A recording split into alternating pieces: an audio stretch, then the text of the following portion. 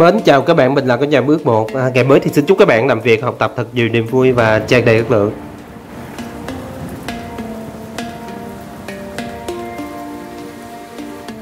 Trong mỗi chúng ta ai cũng có rất là nhiều những cái mơ ước cho riêng mình. À, Trong đó mơ ước xây dựng một cái ngôi nhà dù lớn hay dù nhỏ che nắng hay che mưa Là một cái mơ ước rất là chính đáng và cần phải thực hiện trước những cái mơ ước còn lại. Để thực hiện cái mơ ước này thì mình cần phải lên một cái kế hoạch rất là dài à, Và có thể nói được rằng là nó cũng rất là khó thực hiện. À, Nhưng mà à, để à, xây dựng được à, một cái à, ờ, ngôi nhà. Và ngày hôm nay mình sẽ chia sẻ đến mọi người một cái mẫu nhà à, cấp 4 à, nhỏ xinh à, với cái chiều rộng mặt tiền là 6,5m và chiều sâu là 11m à, của đôi vợ chồng trẻ ở à, giữa cầu Mỹ Thuận 1 và cầu Mỹ Thuận 2 à, đây là một cái mẫu nhà mà trước đây à, không lâu thì mình cũng đã chia sẻ về cái phần chi tiết à, thiết kế của mẫu nhà này. Và ngày hôm nay có dịp quay trở lại công trình thì cái mẫu nhà này đã xây dựng xong và mình sẽ review thực tế à, cái mẫu nhà này gửi đến mọi người tham khảo. Và bây giờ xin mời các bạn cùng mình đi tham quan cái à, ngôi nhà giá rẻ này nha các bạn. À, được thiết kế đầy đủ công năng cho một cái gia đình à, hai thế hệ sử dụng à, cái phần à, sảnh phía trước à, là một mét à, được à, thực hiện bởi một cái à, máy kết.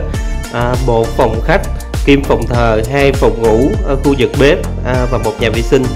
À, có thể nói là công năng ở bên trong là nó rất là rộng rãi và đầy đủ à, và mọi công năng đều được đặt để theo đúng cái vị trí à, và rất là à, gọn gàng vừa phải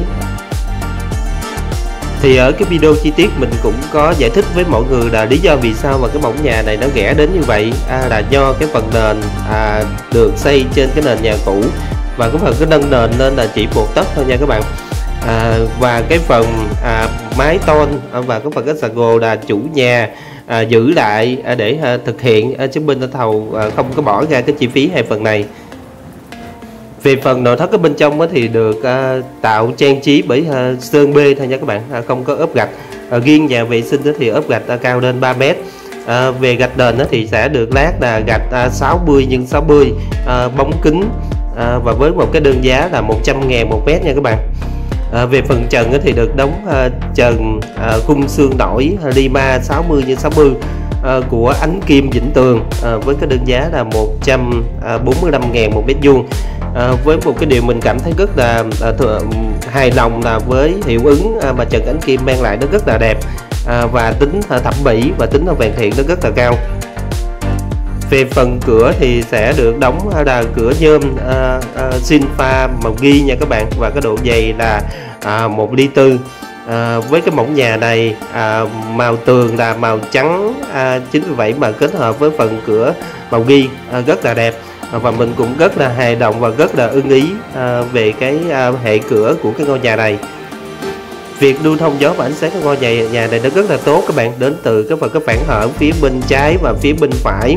À, và cái phần mặt hậu là nó nối tiếp với à, phần à, con sông. Chính vì vậy mà ngôi nhà này nó càng trở nên à, mát mẻ và lưu thông gió và ánh sáng được tốt hơn. Về phần màu sắc thì như mình đã à, chia sẻ ở cái video trước thì mình sẽ lấy cái màu trắng làm nền. Còn cái màu nhấn ở lúc này đó chính là màu ghi xanh. Và cái màu tường đó chính là màu ghi trắng nha các bạn à, có thể nói là về cái phần các màu sắc thì được phối hợp rất là hài hòa. À, màu trắng ở cái phần cái nội thất ở bên trong giúp cho ngôi nhà này đã trở nên rộng rãi hơn. Cái điểm thú vị tiếp theo mà mình muốn chia sẻ đến mọi người là cái khu vực bếp các bạn. Ở khu vực bếp rất là rộng rãi bếp hình chữ L. À, và một chiều là 2 mét một chiều là 2,5 mét à, để tạo cái điểm nhấn à, cũng giống như là à, tạo về mặt phong thủy thì sẽ thực hiện một cái vách ngăn. Và cái vách ngăn này sẽ được à, kết hợp làm một cái vị ba nhỏ à, tạo điểm nhấn à, bằng cách là ốp gạch à, 15 80 giả gỗ. Khu vực bếp à, thì cũng là một cái điểm nhấn tiếp theo ở cái ngôi nhà này. À, về mặt bếp thì sẽ được lát gạch 60 x 60 à, về phần à, thân bếp thì sẽ được ốp kính cường lực à, nhà này không có thực hiện à, cái kệ bếp trên à, đóng, đóng tủ à, mà sẽ thực hiện bằng những cái à, kệ à, trang trí à, rất là có duyên. Và tại cái vị trí vị ba này à, là một cái gốc chiêu và một cái điểm nhấn rất là thú vị ở phía bên trong nội thất ngôi nhà này.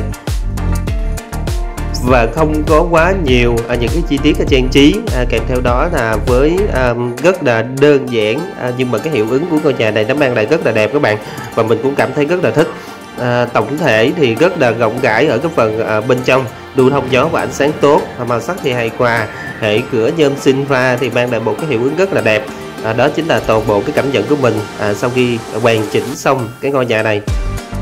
Cái ngôi nhà cấp 4 của đôi vợ chồng trẻ và hai cháu. À, do bên đơn vị mình công ty trách nhiệm hữu hạn tư vấn thiết kế xây dựng ngôi nhà mơ ước thực hiện à, và đến ngày hôm nay thì ngôi nhà này đã được hoàn chỉnh xong.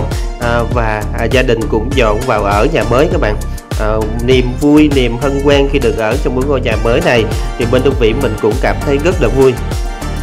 Điều mọi người quan tâm và mọi người à, thắc mắc là tổng cái chi phí xây dựng cái ngôi nhà này nó là bao nhiêu thì nhân tiện trong video này mình cũng sẽ chia sẻ đến mọi người à, là về cái phần à, mái tôn và phần à, xà gồ à, thì chủ nhà giữ lại. Tổng chi phí à, xây dựng là 236 triệu cộng với cái phần à, xà gồ và phần cái mái tôn là 20 triệu nữa. À, tổng là 236 triệu cộng với những cái phần à, phát sinh cửa và những cái phần cái thiết bị bên trong thì tổng cái chi phí à, xây dựng của à, ngôi nhà này à, nó rơi vào khoảng à, 270 cho đến 280 triệu. À, chưa kể cái phần à, cái à, nhà à, nhà hậu bếp ở à, phía bên hông nha các bạn. Vừa cùng các bạn à, tham quan à, ngôi nhà mới vừa được xây dựng xong à, có thể nói là rất là đẹp rất là hài hòa phải không các bạn? À, và video của mình đến đây là xin kết thúc. À, bây giờ xin nói là chào tạm biệt và hẹn gặp lại các bạn ở những video lần sau.